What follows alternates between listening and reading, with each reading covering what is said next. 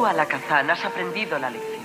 Ahora sabes usar tus poderes como debes, con humildad, compasión y sabiduría. Estás salvo.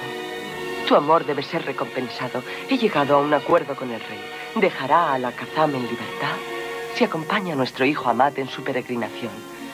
Vendrá muy pronto. Debes convencerle. Es su oportunidad.